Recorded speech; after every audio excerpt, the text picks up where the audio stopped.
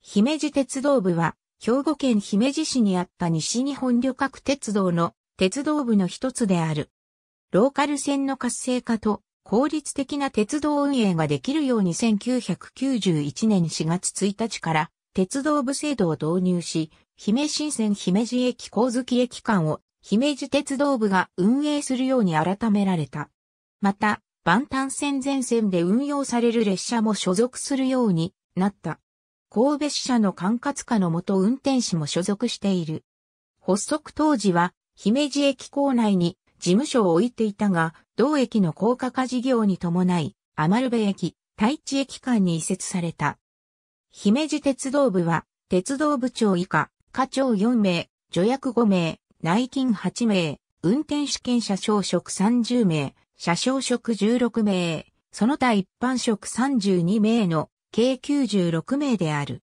しかし、2021年7月1日の姫路運転区発足により、同年6月30日をもって廃止された。姫新線余部駅、太一駅間にある。基地構内へは余部信号場から出入り区している。もともとは姫路駅構内に存在したが、JR 山陽本線等連続立体交差事業の一環で現在地に移設された。移設事業期間は1990年から1994年、最大留置車両数36両、面積27,900平方メートル、延長695メートル、福林級から94メートルの規模である。検査で、網干総合車両所に出入りする場合は、姫路駅を経由するが、2006年3月から2008年12月22日に姫路駅が完全に高架化されるまでは、津山駅と岡山駅を経由するルートであった。所属組織の略号と姫路の電報略号である姫から構成されている。